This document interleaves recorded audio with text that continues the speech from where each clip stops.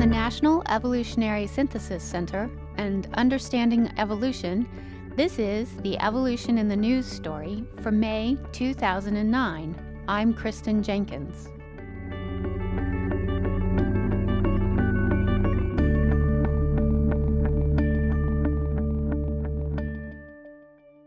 As the climate warms, plants and animals are faced with rapidly changing environmental conditions. Species survival depends on the ability to adjust to these changes. Such changes can be in behavior, such as a plant flowering later or birds laying eggs earlier. Morphology, say a larger or smaller adult body size. Or physiology, for example, the ability to tolerate higher temperatures. One way for this to happen is through the evolutionary process of adaptation. This process requires advantageous mutations to arise and several generations for the trait to become common in the population. Another way for this to happen is through phenotypic plasticity. Phenotypic plasticity allows individuals to adjust their behavior, morphology, or physiology based on environmental cues. Some species have evolved more phenotypic plasticity than others, and these are the species that may have a better chance of surviving in a rapidly changing environment. In order to make good decisions about regulating greenhouse emissions or for conservation planning, we need to understand how organisms deal with changing environments, whether they will respond through adaptation or through phenotypic plasticity. Dr. George Gilchrist, a professor of biology at the College of William and Mary, is an evolutionary biologist investigating this question. Uh, my name is George Gilchrist. I'm a uh, evolutionary biologist at the College of William and Mary. I study how organisms adapt to a changing climate. I'm interested in all sorts of timescales, uh, from daily change to seasonal change to the kinds of global climate changes that we are seeing right now throughout, uh, throughout the world. What is the difference between an adaptation and acclimating? What does phenotypic plasticity have to do with this? So let's use an example from my research to talk about this difference between an acclimatory or plastic response and an evolved or adaptive response. It's been known for a long time that for most organisms, but particularly for insects, if you grow up larvae in a cold environment, as adults, they'll reach a, high, a larger body size than if you grow up the larvae in a warm environment. These could be genetically identical populations. It's strictly a phenotypic response and it's a plastic response. Temperature affects, temperature during development affects adult body size when the adults eclose. We can see a, a, similar parallel response as an evolved adaptation across latitudinal gradients. Animals from low latitude warm populations, say Southern California, are smaller in body size than animals in the same species from high latitude populations, say British Columbia. This difference, though, is not just a plastic response. This is a genetic difference. If we take those animals into what we call a common garden experiment, as we bring them into the lab and we rear them for multiple generations under identical conditions, the ones from the high latitude population are always larger than the ones from the low latitude population. That shows it's a genetic difference, not a plastic difference.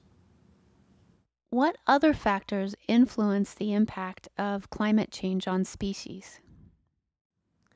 One of the things that you have to appreciate about climate change is that there's a geographical component, both to the predicted changes from the climate modelers and to the geographic structure of natural populations.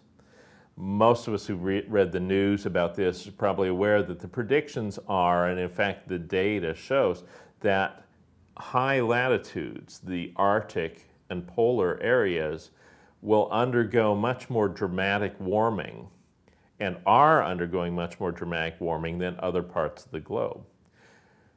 These, of course, are home to a unique group of animals, things like penguins, polar bears, ice fish, uh, a wide variety of organisms that can't live in warmer climates, that are adapted genetically to these cold habitats.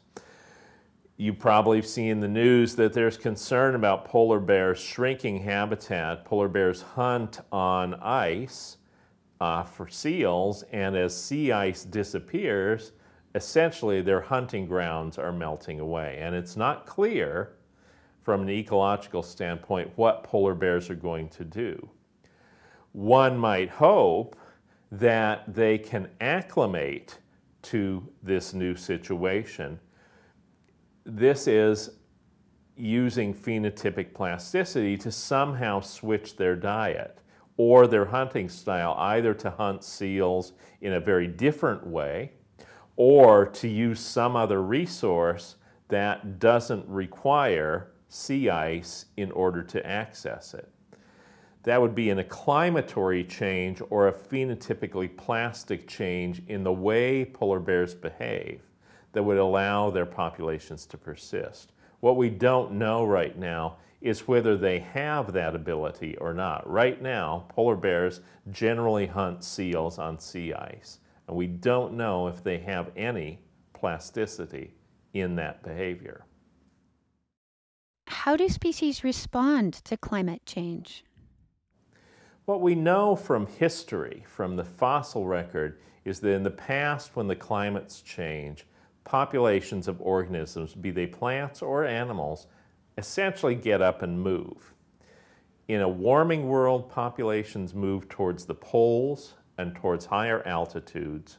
In a cooling world, they move from the poles towards the equator and down from the mountaintops to lower altitudes.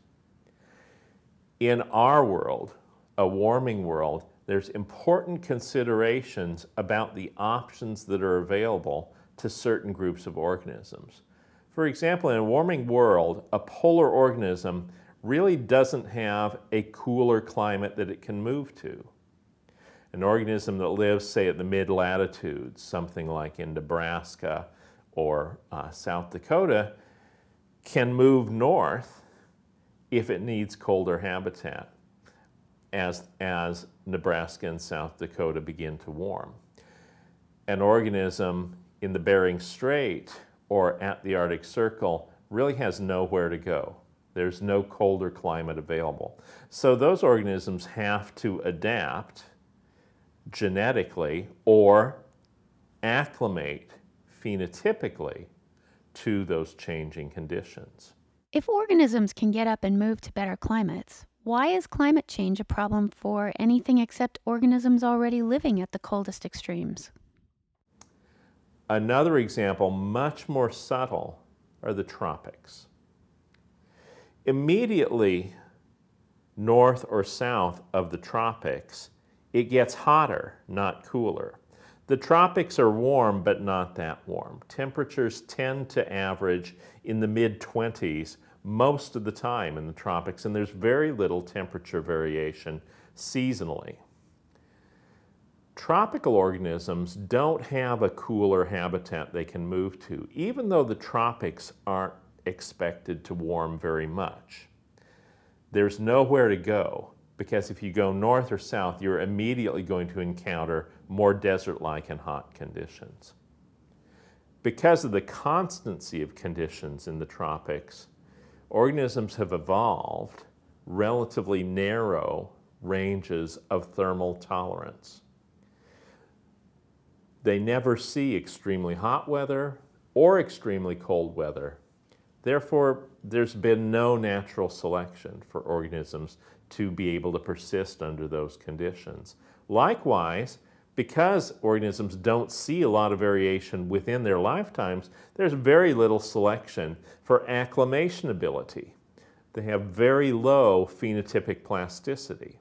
So small changes in the tropics are actually expected to have much more dramatic rate effects on rates of extinction than are changes at higher latitudes, simply because tropical organisms are so specialized for the conditions that they see. How did you become interested in evolutionary biology? You know, probably like a lot of the students out there, when I was in high school, I really didn't have a lot of interest in science. In fact, I didn't even have a lot of interest in school. And uh, so when I graduated from high school, I went to work. And I worked for a number of years before going to college. And even when I went back to college, I went back as a English major because I couldn't think of anything else really to do. And uh, I just, you know, in order to fulfill my distribution requirements, I took a, an intro biology class. And there was something about that class and the teacher that just really struck me and uh, changed my whole life. Uh, you know, I took more biology classes, and it was actually in my sophomore year in a class in invertebrate zoology. I think it was like the 27th of September or something like that. And it was a lecture on the evolution of sex, of all things. And it was in that class I was so fascinated by what I was hearing about this question of why is it that organisms engage in recombination, that is, that males and females combine their gametes to create a new genotype. Why don't they just reproduce clonally? And transmit 100% of their genetic material to their offspring. That seems so obvious the best thing to do from a natural selection standpoint. It makes no sense why you would mix up your genes. I found that whole question so interesting that um, I went and saw the professor right after class and uh, asked him if anyone did any work on that at that university. The answer was no. So then I said to the professor, okay, well, what do you work on?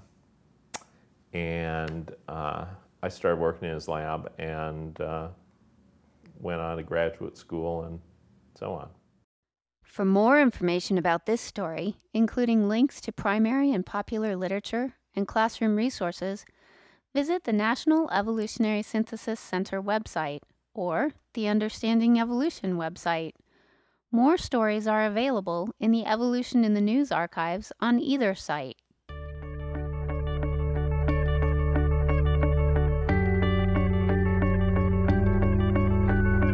The National Evolutionary Synthesis Center is funded by the National Science Foundation to promote research in biological evolution.